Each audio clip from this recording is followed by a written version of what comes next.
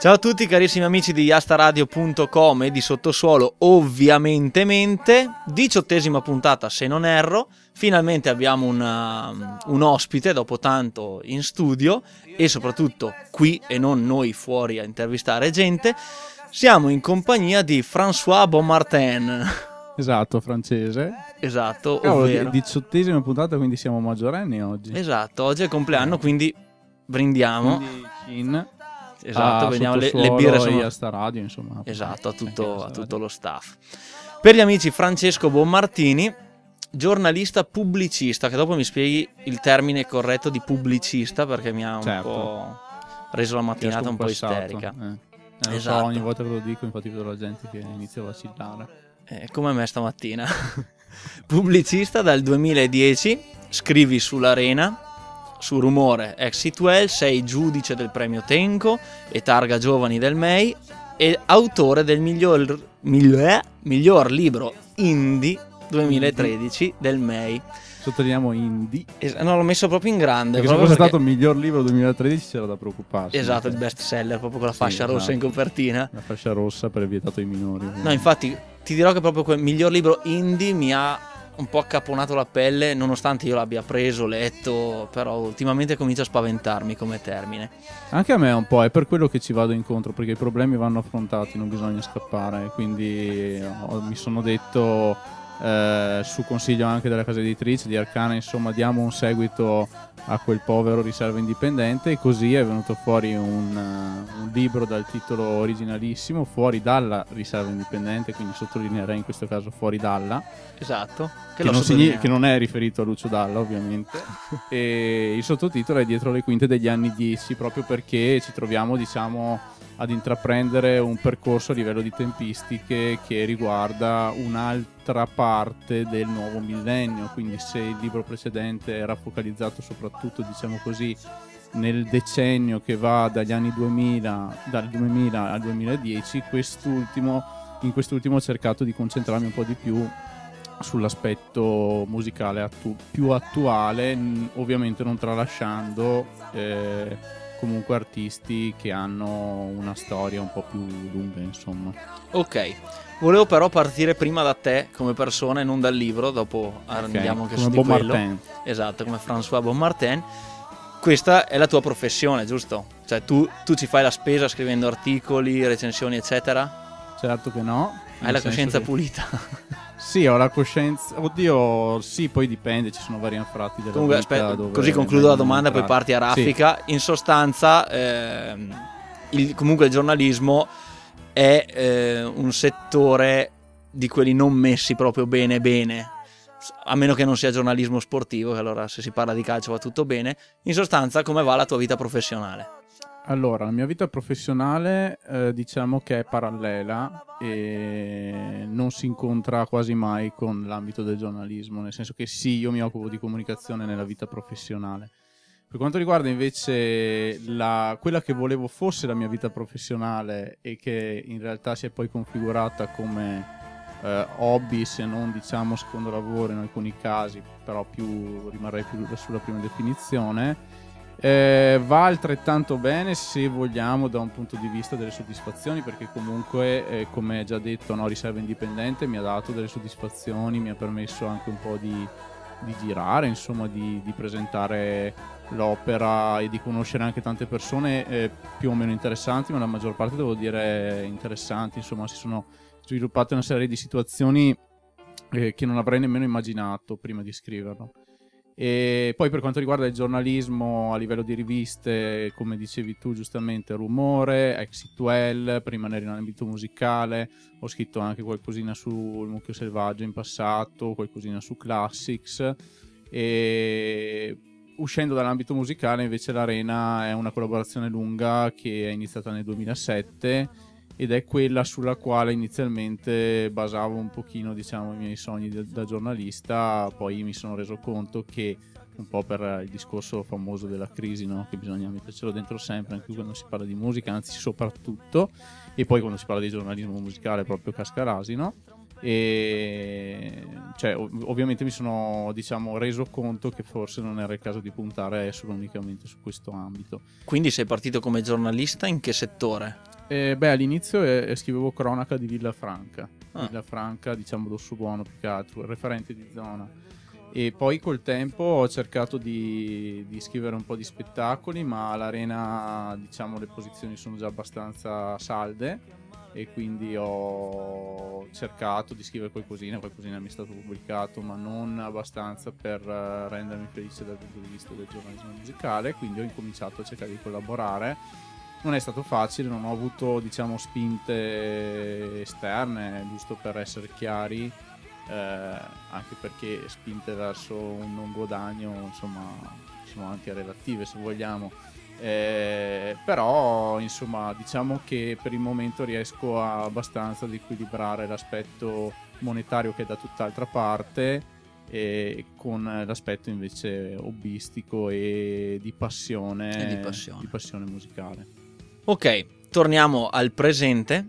E quindi oggi sei in mia compagnia, eh, oltre alla ovviamente consueta chiacchierata nel sottosuolo da collega quasi, sei eh, qui per presentare appunto, come già anticipato prima, la tua nuova fatica, la tua ultima fatica, se di fatica si tratta, fuori dalla riserva indipendente dietro le quinte degli anni 10, che è uscito esattamente il 18, giusto? Sono quindi il primo che ha l'onore di intervistarti.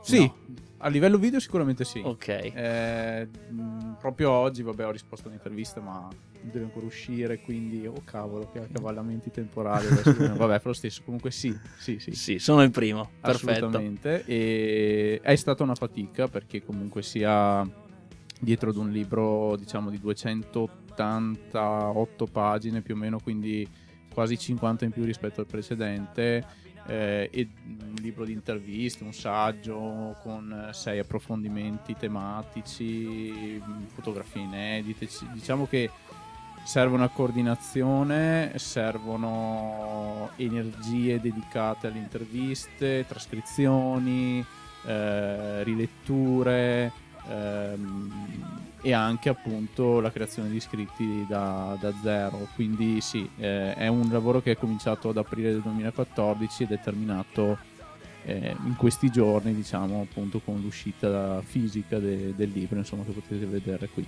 Ok, partiamo proprio dal titolo, come hai già detto prima, eh, però io ho colto prima in realtà il dietro le quinte. Cioè, a me personalmente eh, mi ha fatto subito immaginare una sorta di teatrino dove Degli- c'è chi degli dirige... errori. Esatto, degli errori. Degli errori. Dove c'è chi eh, muove i fili, li gestisce, ovviamente sul palco di questa industria discografica, perché alla fine è un'industria, c'è anche chi deve recitare su questo palco. Cioè, è una, di- di- una visione distorta mia o c'è un nesso tra quello che ho captato io dal titolo, sono io che sono malato di mente e me la vedo così.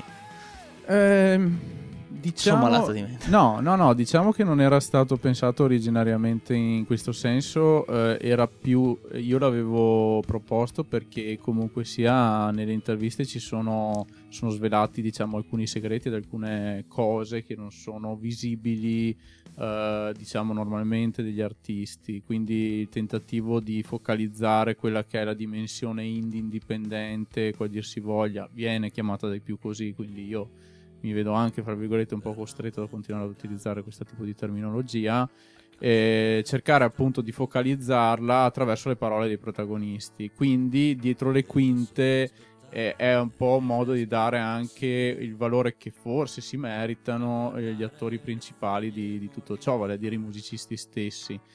Però effettivamente dietro le quinte ci stanno anche i lavoratori, quelli che diciamo così non si vedono sui palchi. Quelli che non si vedono sui palchi sono ad esempio gli uffici stampa, le etichette. Che sono citati nel tuo libro, che giusto? sono citati e che mi sembrava giusto insomma includere. Eh, qui in questo libro ce ne sono sei, ma sei approfondimenti in cui sono appunto inseriti alcuni di questi attori. Nel precedente, che lo faccio vedere, insomma, visto che ce l'ho qua, serve indipendente. Approfitta.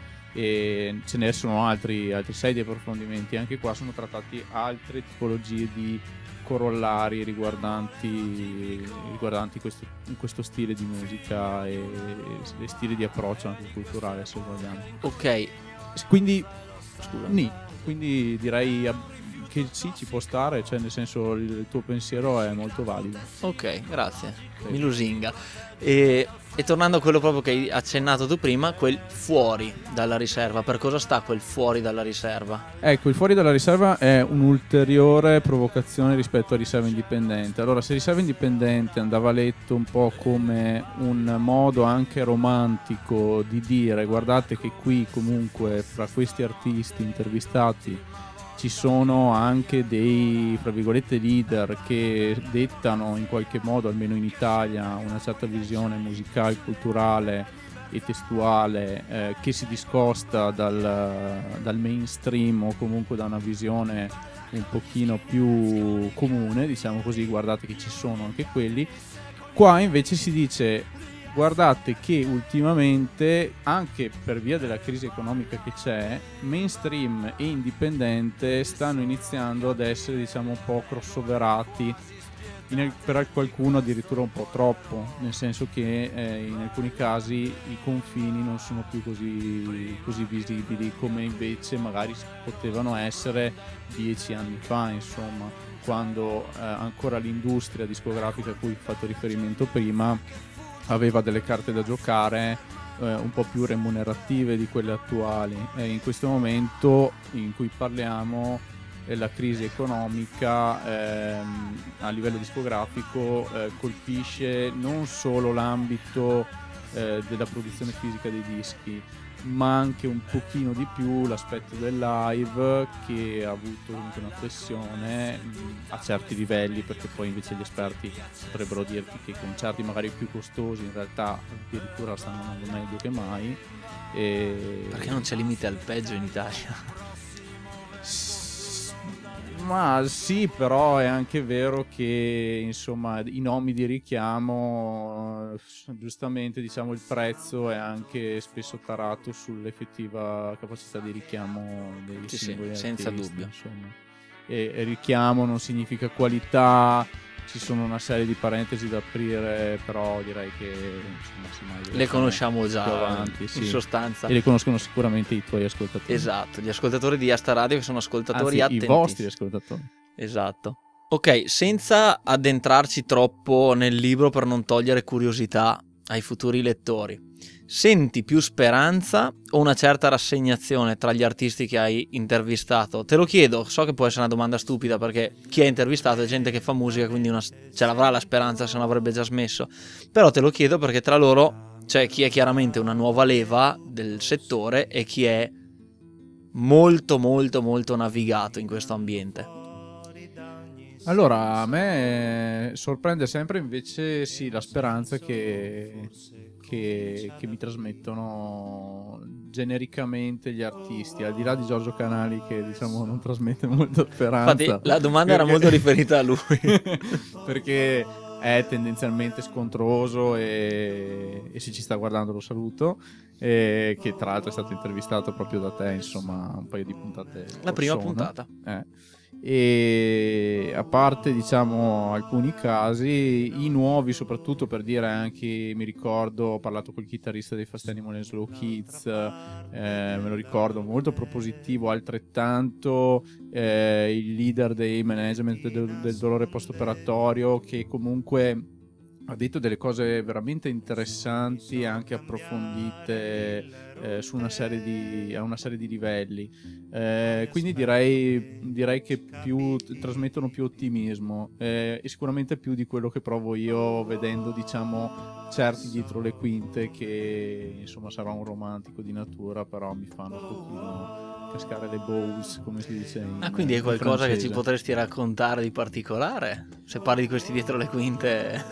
no, ma dietro le quinte non solo intesi ovviamente della, di, di, quello ah, di cui okay. parlo nel libro, però dico proprio a livello concertistico, comunque quando, quando vai ad intervistare genericamente hai la possibilità e anche l'obbligo uh, di essere lì un po' prima, di vedere una serie di dinamiche che magari da, da pubblico faresti fatica e magari neanche ti interessa, diciamo, vedere perché tu di solito da pubblico arrivi lì, ti fai la tua birra, ti fai quello che devi fare, ti guardi il concerto, cerchi di divertirti, si spera, a ognuno a suo modo e poi te ne vai a casa. Invece chi, chi, chi ha, diciamo così, una, un approccio cronachistico come, come, ce l'ho io o comunque giornalistico ha, ha bisogno di approfondire e di conseguenza anche di approfondire delle cose che poi mi rendo conto alla lunga possono anche intaccare un po' la magia. Eh, che... Cose che sarebbe meglio non sapere alle volte. Sì, alle volte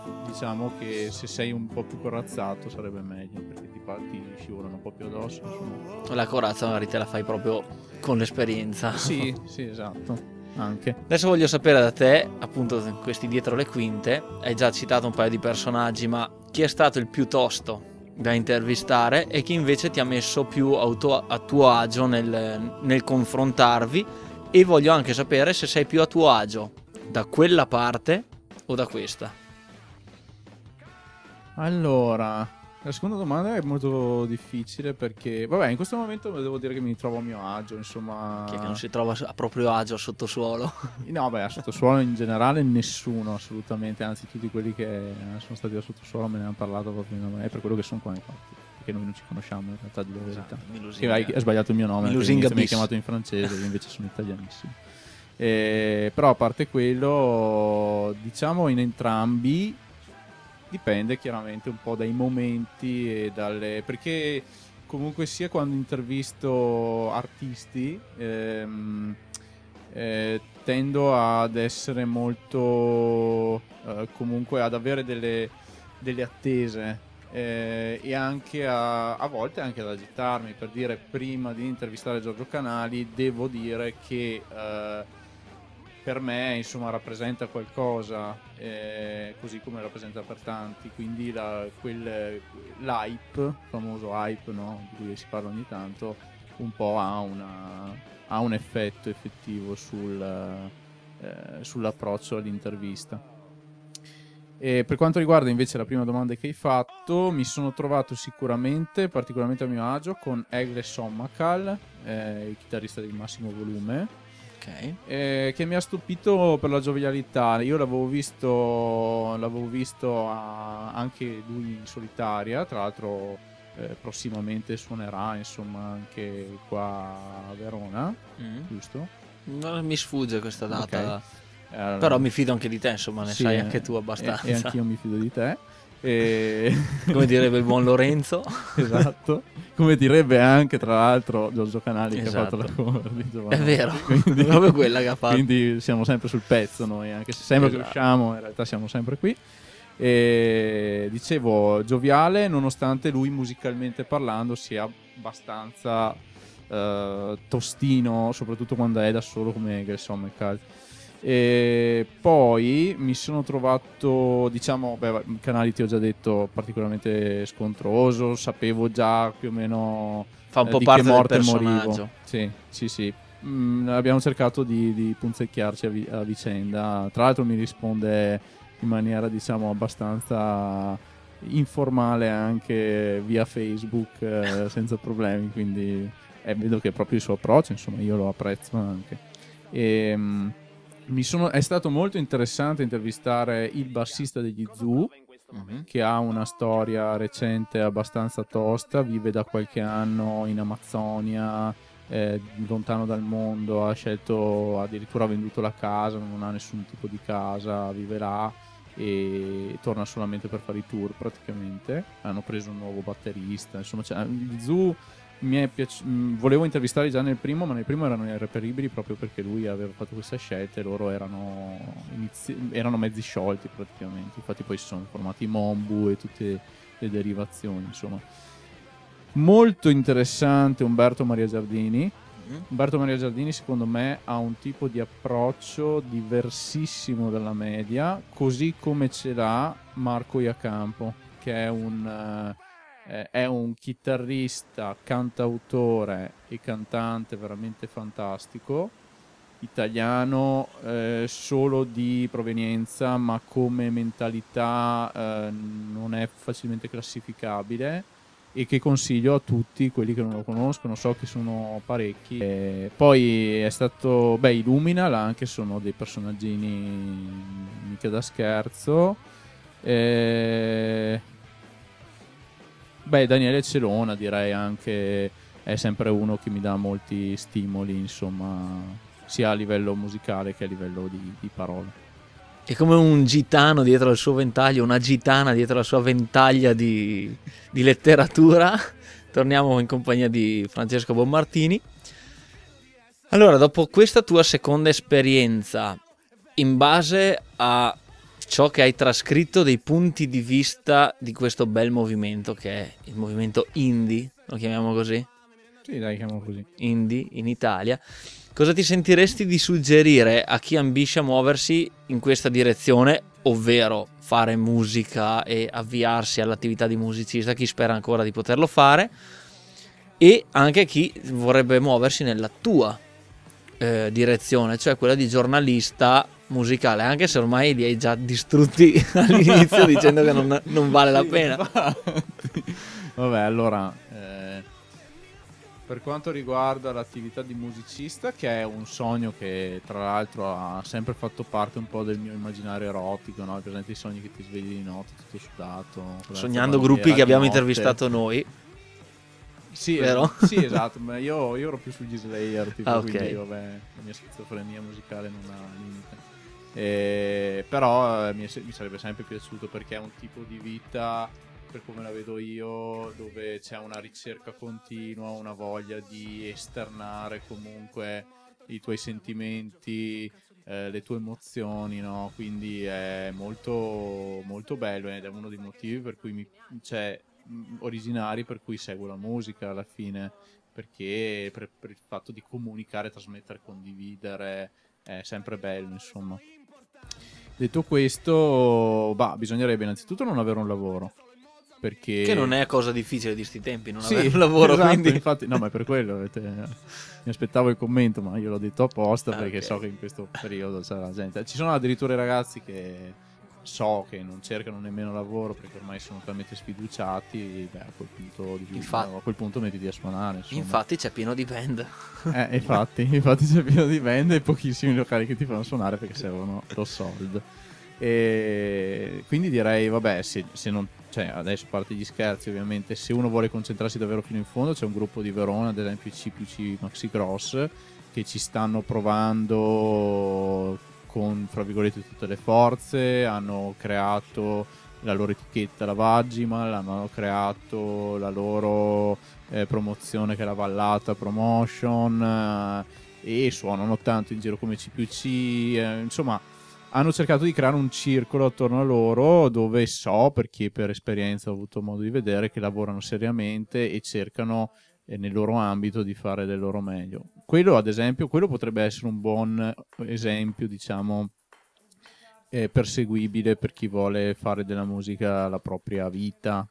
Che poi fare della musica la propria vita non significa mh, trarre dalla musica benefici economici particolarmente interessanti, soprattutto se sei un gruppo da 5 persone o 4.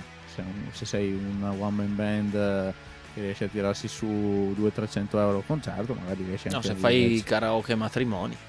Sì, anche, anche infatti. Chi, chi ha quell'obiettivo lì o anche come obiettivo corollario, comunque c'è sempre quella, quella via lì.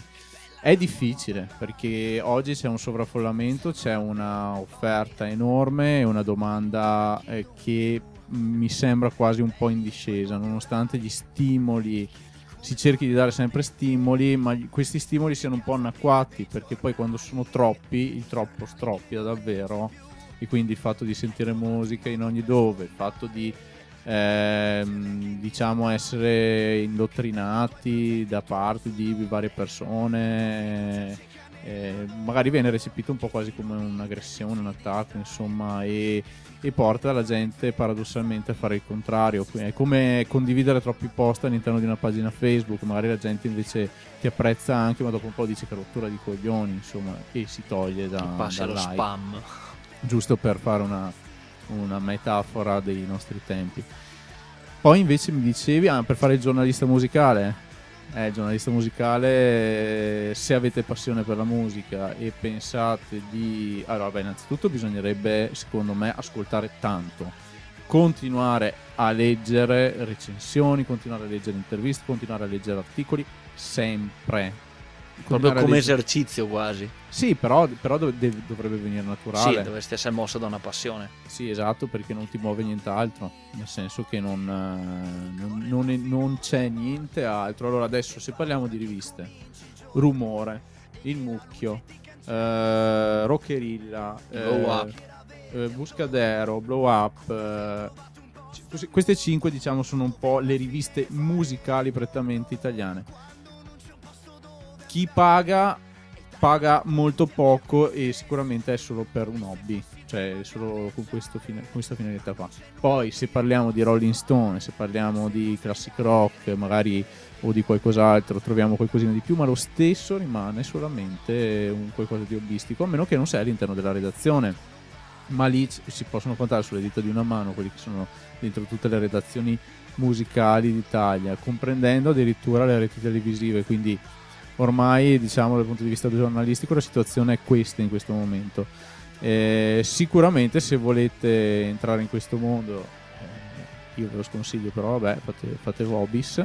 Eh, ascoltate tanto leggete, leggete tanto leggete bene e, e formatevi una vostra capacità critica cercate di essere onesti con voi stessi prima che con gli altri però di solito le due cose dovrebbero andare di pari passo eh, fatevi molti nemici e, È e molto basta. onore. no vabbè esatto non volevo, non volevo di- di- citare diciamo una frase un po' così scomoda e anche un po' sovrautilizzata Vabbè, fate un po' di goliardia. però no, mh, senza esagerare, nel senso che vedo che ci sono una serie di realtà, per esempio il teatrino degli errori, no? Il teatrino degli errori cosa fa? Eh, fa recensioni provocatoriamente negative, continuamente negative su alcune, su alcune sono stra d'accordo e stanno avendo anche il loro bel riscontro.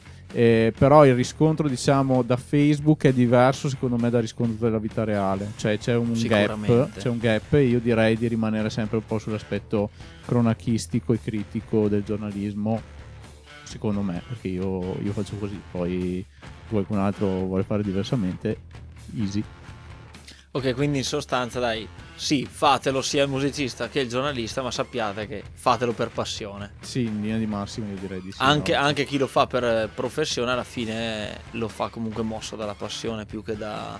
O mosso dalla voglia di andare a sottosuolo a farsi intervistare Esatto, e tutti adesso bussano alla porta per entrare, Esatto. ma li stiamo tenendo fuori co- con gli scimmioni. ok, ultimissima domanda. Adesso regge il microfono come il To The Beat di Bologna. come, come l'Emmy dei Motorhead esatto. Tanto il baffo comincia a essere quello quasi. Sì, esatto. Basta- Ok. non, non ho la stessa età per nemmeno un truffo Ah, no? così. No, lo so che ne li dimostro, ma Ok, adesso dai, è il tuo momento, proprio momento promo massiccia, dove trovarti, dove trovare il libro, appuntamenti, presentazioni, siti, blog, eccetera, eccetera. allora il libro lo trovate se è da me, se volete mi scrivete a fra.bomma.gmail.com che non sta per frate bomma, come tanti insomma mi dicono. Ha un po' di cerega che ricorda, diciamo, ma ancora non così, non così tanta. Il libro che è questo lo trovate anche allora, sugli store digitali, Amazon, IBS, sul sito di Arcana e altri, e altri, store.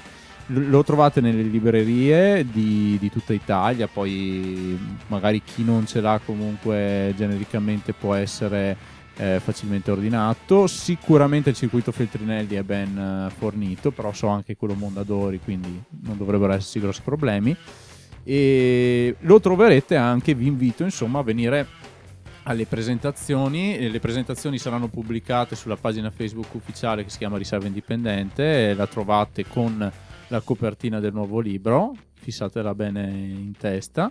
La cover è la copertina del nuovo libro. E per adesso di programmate c'è il 17 di eh, marzo alla Feltrinelli di Verona ancora diciamo da definire per quanto riguarda gli ospiti eccetera però comunque alle 18 e 17 di marzo sarò a Verona e ci sono in ballo una serie di città, c'è Treviso, Trento, Pavia, Bologna, Verona stessa per altri luoghi. Adesso vedremo con il passare del tempo se qualcun altro sarà interessato a presentare il libro. Eventualmente l'ideale sarebbe proprio magari ospitato o ospitato eh, con gli artisti intervistati così che si possa anche creare un dialogo o, o, se, o se non un dialogo a parole, quantomeno un dialogo musical eh, parlato. Diciamo, musical parlato. Musical parlato, un, un reading suonato tipo. Esatto. e hai anche siti internet dove seguirti o è solo Facebook? Ho solo Facebook eh, per, perché faccio un po' di economia. No, dai, scherzo. Ho anche il blog, si chiama riservaindipendente.wordpress.com. Non ho comprato il dominio perché mm, spendere 18 euro all'anno di questi tempi è un po' oneroso. Tanto la visibilità te la dai lo stesso. Sì, esatto. Il libro infatti costa 19,50 perché, proprio perché prossimamente vorrei comprare Aspetta, il dominio. Pesa, pesa quanto? Pesa 415 grammi. 288 pagine. Ha, ha, cominciato, ha, cominciato, a muovere i primi passi ad aprile esatto, del 2014, è, è alto 288 pagine e pesa 415 grammi. Pesa di più, come potete vedere, è più alto rispetto al suo a, a suo padre. Ok. Io sono tuo padre, no? famoso. e, e, quindi ecco, insomma, ci ritroviamo qui con due libri. E se volete, noi siamo, io sono disponibile a cederveli. Loro hanno tante cose da raccontarvi. Se voi avrete la pazienza di ascoltarli, sicuramente rimarrete soddisfatti, o forse no. Aspetteremo quindi la trilogia perché ci vuole anche il terzo. Comincia già. Questa, questa, è la prima volta che me lo dicono e devo dire che non l'avevo mai ragionato in questo senso. Comincia. Però parafrasando Darth Fener, in effetti hai avuto una, eh, tutti i migliori buona, hanno una buona idea. Eh, io credo che se ci fosse un terzo, almeno, almeno fra 5 anni, almeno. Per passare agli anni 20? Sì, esatto, sì, sì. Poi, Torniamo poi, negli poi, anni 20. Poi via così, no? No, però mh, sinceramente qua ci sono tante interviste in questi due libri, ci sono tanti approfondimenti. Confermo, il primo Cre- l'ho letto. Eh, eh. Credo di aver sviscerato parecchio e abbastanza questo tema, quindi eventualmente nel futuro se scriverò qualcos'altro eh, vedrò di variare insomma anche per non rompervi gli zebedei ulteriormente ma insomma. Eh, ma il bello di un libro è che non è mai troppo invadente puoi sempre lasciarlo là chiuso. Sì esatto poi eh, noi abbiamo fatto una bella copertina con Arcana proprio perché insomma anche mettendolo così no, c'è sempre che ci sia lo scotch c'è tipo insomma, già archiviato sì sì esatto cioè vedi sì, sì, poi la grafica è molto simile, quindi richiama. Sì, sì, sì. Abbastanza. Si richiamano l'uno l'altro, infatti, anche quando sono distanti si richiamano. Proprio esatto, li puoi sentire parlare da una stanza all'altra. Sì, è... sì, sì. Ed è sempre un'emozione che, che, fa bene al cuore. Ok, con questi deliri direi che possiamo dichiarare conclusa questa chiacchierata con Francesco Bommartini, autore di Riserva Indipendente e Fuori, Fuori dalla, dalla, Riserva, Indipendente, Indipendente il, neo, il neonato. Sì. Ti ringraziamo per essere stato qua con noi. Grazie a voi, grazie a te Alberto, grazie a tutti i lavoratori dietro le quinte di sottosuolo. Che anche qua abbiamo il dietro le quinte. Esatto, dietro le quinte degli anni 10. Non so, si può augurare la buona vendita del libro? Io mi auguro di sì, te l'auguro di cuore. Sì, la buona vendita. Spero di riuscire a venire a sentire qualche presentazione come ho già fatto in passato. Sì, dai un 10.000 copie almeno, insomma, ai esatto. banchetti e poi ti vogliamo vedere girare in Rolls Royce. esatto, qua davanti Indi- proprio. La Rolls Royce indipendente. esatto. No, no, sarebbe una bruttura veramente. Vabbè che ormai è, è tutto valido però, non esageriamo. Esatto. Bene, grazie ancora. Grazie a voi. Grazie e auguri per tutto. Grazie altrettanto.